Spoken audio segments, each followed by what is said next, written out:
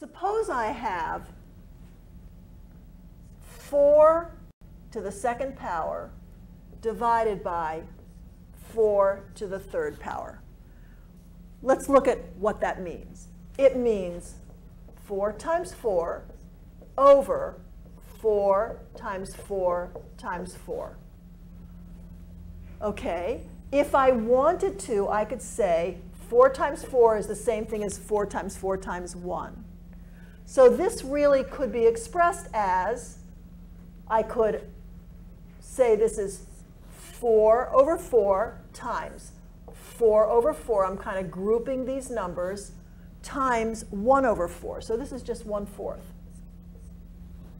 And as you know, 4 is the same thing as 4 to the first power. So this is 1 over 4 to the first power.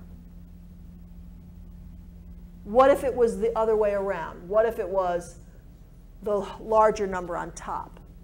Let's say I was looking at, well, let's use a different number. Let's use 3, 3 to the fifth power divided by 3 to the third power.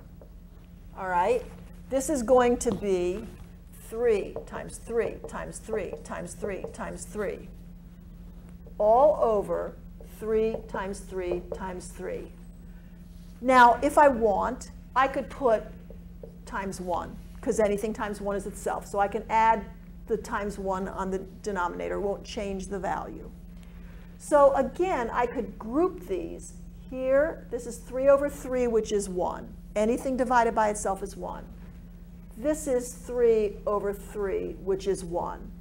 And this is 3 over 3, which is 1. And I'm left with 3 times 3, which is 9, over 1, which is 9. Or I could have said 3 to the second power over 1, which is just 3 to the second power.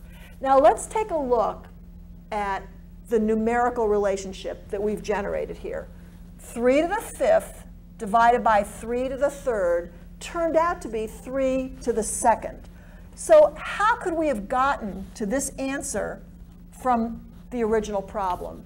If you notice, it's the same thing as 3 to the power that you get when you say 5 minus 3, which is 2. 3 to the second power.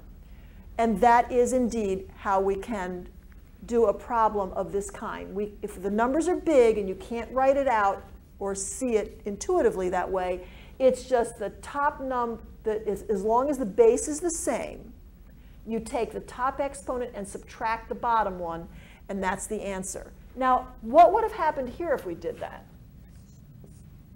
We would have had 4, 4 to the second, minus 3, which is equal to 4 to the negative 1. Okay, but what we got for our answer was 1 over 4 to the positive 1. So now I'm going to tell you that we have a definition that a negative exponent is the same thing as 1 over the same thing with a positive exponent. So in other words, 4 to the minus 1 is equal to 1 over 4 to the 1, which is also just called 1 over 4.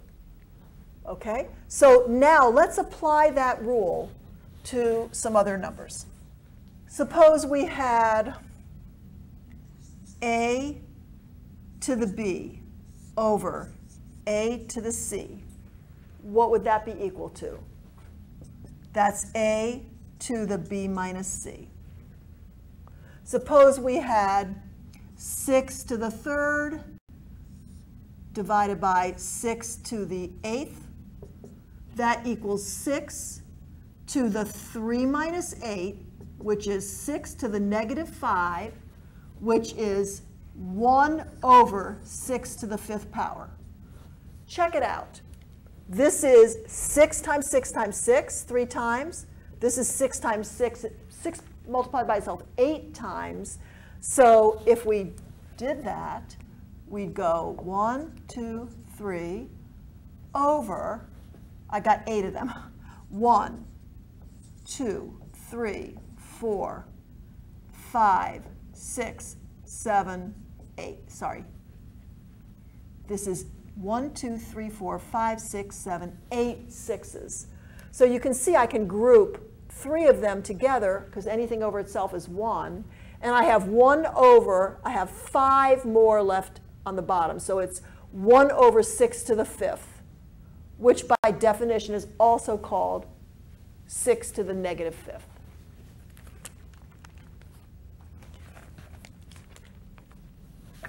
Now sometimes we have numbers that we're working with all the way through, and sometimes we've got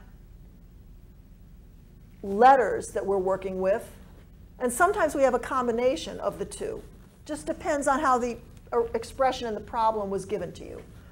So let's look at a couple other problems.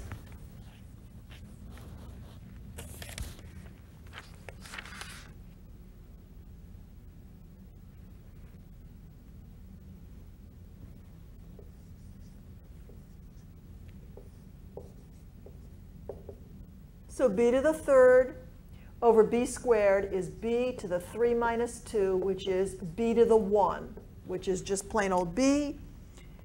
c to the 7th divided by c to the 4th is c to the 7 minus 4, which is c to the 3rd, right?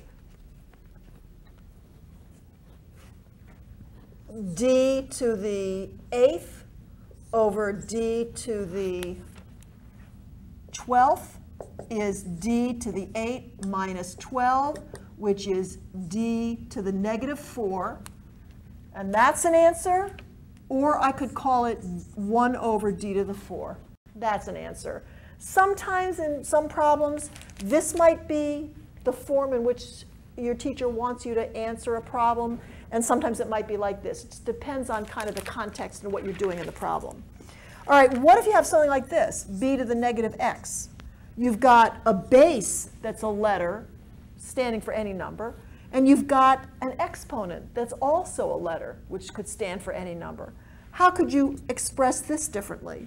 Well, it's the same thing as 1 over b to the positive x, because this is the definition, essentially, of a negative exponent. If you move it from the numerator and put the whole expression in the denominator, you change the exponent from a negative to a positive. Okay, I think that's all for our video on exponents. Thank you.